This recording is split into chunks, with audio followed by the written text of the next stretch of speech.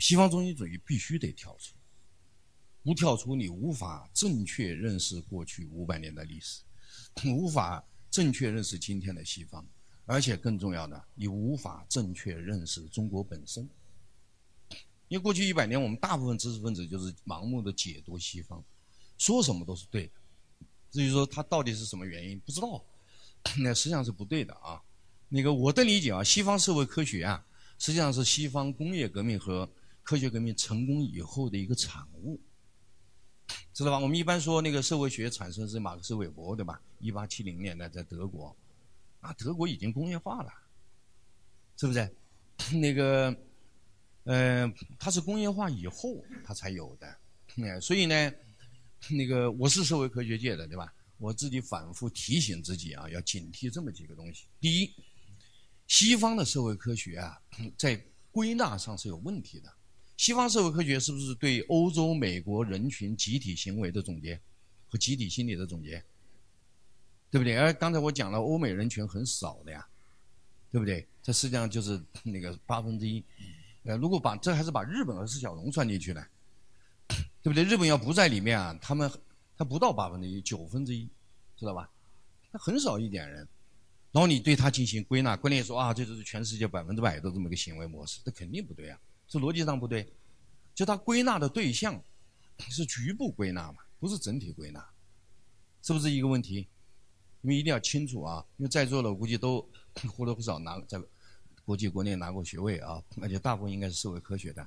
一定要知道，西方社会科学是它工业化成功以后才有的，而且它归纳的是欧美的人群的集体行为和集体心理，不是全人类的归纳，知道吧？你像中国这么大一群人，他的归纳就是很有限的，对不对？所以你因为归纳是第一步嘛，然后后面是演绎啊，你归纳就不全面，你你你你你你怎么有自信说你代表全人类呀？是不是就有问题？第二呢，那个。西方社会科学，它服务意识很强的，它就是为西方服务的呀，对不对？它是西方国家资本培和私人资本培养出来的一个一个东西，它是个工具啊，所以解释都是对它西西方有利的，所以才有了一个很荒谬的情况，那个西方在整个那个那个发展过程当中进行了极其残酷的对外扩张，这个包括那个。十字军东征，包括那个那个大航海之后的全世界扩张了。那我自己统计过啊，在大航海之后的一百年时间，欧洲人抢的海外的地盘是原来的十一倍啊。是这样的啊，那个地理大发现之后，欧洲啊，地盘一下扩大了十一倍。哎，欧洲唯一，欧洲不大的，欧洲是一千零十六万平方公里，咱们国家是九百六十万，它比我们多五十六万。什么概念呢？欧洲比中国多一个四川，就这么一个概念，它并不是很大。那我们以欧洲为一的单元，然后你就算啊，北美洲是基本上是两个欧洲。北美呢，我是把墨西哥算里面的，墨西哥、美国、加拿大，哎，加起来两个欧洲多一点点。那南美，南美是中美洲、加勒比和南美洲，是吧？它是三个欧洲，知道吧？这样是五个了吧？那五个还略多一点，那把多出来的部分分给澳洲，澳洲比欧洲小一点吧？也把那个北美、南美多出来算给他六个欧洲，对吧？然后就是非洲，非洲是三点三个欧洲，是不是九点三啦？然后就是北亚，北亚谁占呢？北亚是老毛子俄国人占的。你俄国一看哇，西欧那帮邻居靠着大西洋全发财了，知道吧？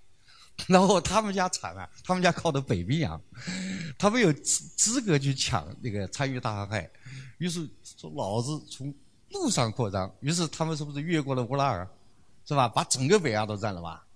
北亚很大的，包括乌拉尔特区，包括北高加索、南高加索，然后那个西伯利亚、远东啊，中亚五国啊，北亚接近一千九百万平方公里啊，一点八个欧洲啊，九点三一点八是不是超过了十一个欧洲啊？对不对？那个呃，这是那个那个一个基本的事实啊，就是那个。呃，他们通过这种哇抢啊什么东西啊，啪就有了那个原始积累，然后啪就起来了。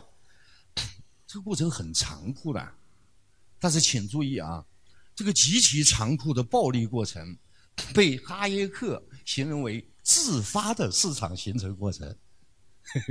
然后中国一帮傻学者，还有包括你们企业家，是不是对哈耶克崇很崇拜？是不是崇拜的不得了吧？这个不是个坏人吗？是不是？是不是他扭曲了历史啊？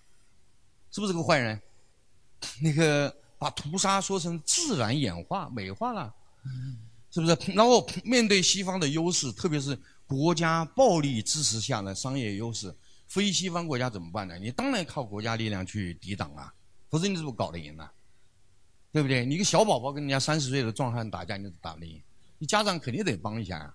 结果呢，他出来骂你。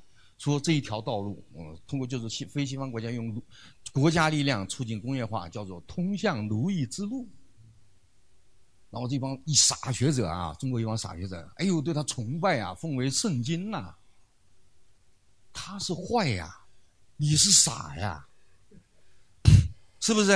啊，成竟然在我们学界是主流，是不是？你这不跳出来，你中国怎么崛得起？崛崛起不了，你们企业家也不行，告诉你们。你永远在美国的体系里面啊，做二等公民，是不是？啊，天天都在加班九九六，哎，附带讲中国企业家那个财富还有一部分是全国人民血汗钱呐，知道吧？那个结果呢，那个利润都被人拿走了，是不是？这个世界上手机很多啊，是不是一半的利润归苹果啊？是不是不公平呢？哎，你你还觉得在里面挺舒服，傻不傻？你必须打破这个体系。知道吧？哎，这是基本的情事实啊。西方这个整个这个学问体系，它归纳是有问题。所以第一不科学，第二，它的服务意识太强大了。像我搞的国际关系学，那个整个西方非常清楚，就是为美国的霸权服务的。这个而中国学者大部分都是人云亦云，照搬他的理论，觉得哇，这就叫独立见解。知道吧？给西方做解释，说这就叫独立意识，这傻瓜嘛？这个是不是？西方要你骂共产党、骂政府，他就跟着骂，哇，这就叫社会良知。嗯，你小学都没读好，对吧？良知搞颠倒了，重新定义良知了，对不对？